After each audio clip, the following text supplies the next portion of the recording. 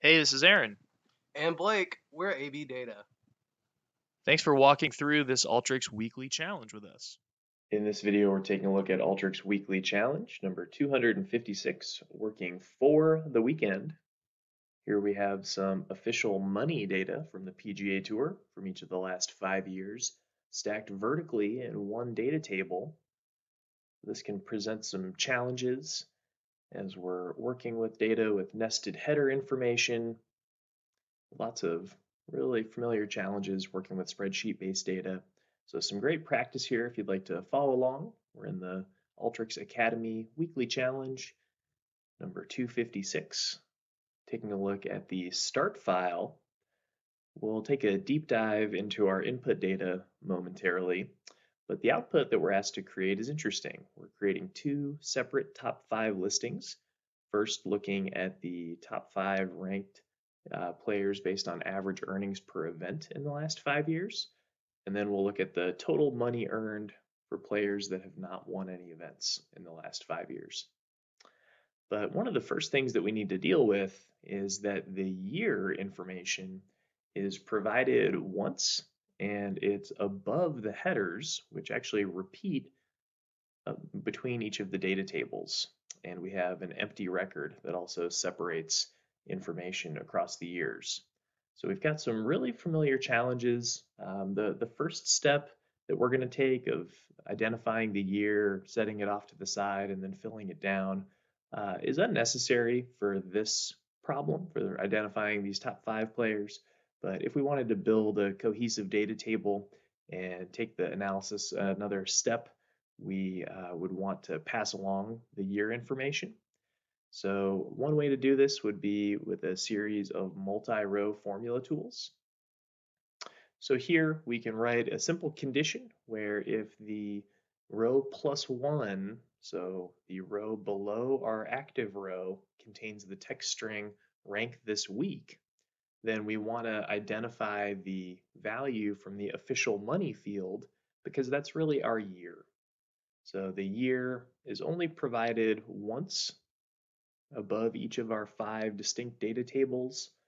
And before we ultimately skip over this record to promote our, our field headers, uh, we want to set this value off to the side and then fill it down.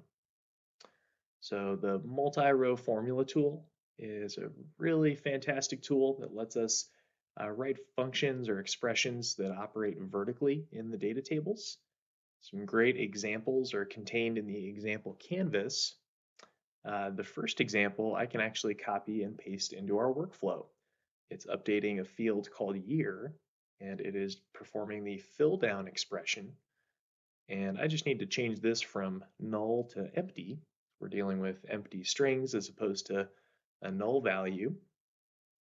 And here we'll identify the uh, year, fill it down until it changes. So if we were to scroll down to record 257, we'd see that the year updates from 2020 to 2019. All right, so now we can shift our attention to the field headers themselves. And after using a sample tool to skip over one record, we can then use the rename mode that takes the field names from the first row of data. So lots of interesting configuration methods for the dynamic rename tool. One of the more common ones is to use it to promote data from record number one into the field headers. So we can teach Alteryx we want to do this for all of our fields except for a field called year. Is that one we created ourselves. And now we can filter out some unnecessary records in the data table. So where our headers repeat in between each of the years, we don't need those records anymore. We don't need these empty or null spacer records. So we could do this with independent filter tools, or we could write a custom filter expression. So in this case, we'll write a quick custom filter and we will reduce the data table by filtering out all the unnecessary records that we don't need. So now we have a nice clean data table but our data types are unfortunately not exactly what we need to perform our analysis. So the events, the money, and the victories, these are all currently thought of as V-strings. And again, this is really common when we're working with Excel or CSV-based data. Using a select tool, we can quickly update the data types. Then one of my favorite tools, the summarize tool, we can use to group by the player names and then sum those three numeric data type fields. So the events, the money, and the victories. We can perform the sum function and quickly rename them to match the desired output. So our 1280 raw data points get summarized into 405 unique player names. And the second part of our analysis is going to have us create a top five listing for players that have not had any victories in the last five years.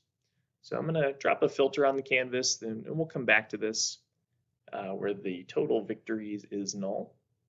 So this will bifurcate our data stream and split it into two groups. So here the true records, these are players that have not won anything in the last five years. So we'll come back to them. But the first top five list that we're asked to create is based on the uh, average per event. So we're going to start with the total money earned and then divide it by the total events played. All right, so here the output is a double. So even though we're starting with some integer fields, we're creating a double. So we can get some detail down to the penny, I suppose. After sorting based on this new field, average per event, we can drop in a sample tool and take the first five records and starting with Dustin Johnson, a whopping 399,000 per event. That's almost $100,000 per day of a four-day tournament. My goodness, not bad.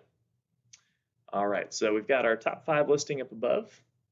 And now if we shift gears down below and sort the data based on total money, so we're doing a slightly different sorting order, but we can actually copy and paste the sample tool. We also want to take a top five listing. So starting with Louis Oosthuizen, who's made 11 plus million in the last five years without winning anything. Not a bad day job. All right. And one tricky component to creating the output that matches our uh, output format is we want an empty record that is null all the way across. Uh, so I'm using a text input to create uh, an empty uh, field structure with, with one record essentially. And within the union tool, I'm configuring it in such a way where the output order is specified where stream number one is our first top five table, stream number two is that empty spacer record, and then stream number three is our second top five listing. So the output that we have, we actually have 11 total records, which matches our output. We can organize our tools a bit by putting them into containers. And a little documentation, a few comment boxes will bring this canvas to life, life a little bit. And hit the run button, we can see this thing work from start to finish. And that's a good excuse to go hit the driving range and work on our golf games. Have a great week. Thank you for learning with us today. Good luck on your Alteryx journey. For more information on custom training, managed service automations, and more, please visit our website at abdataconsulting.com.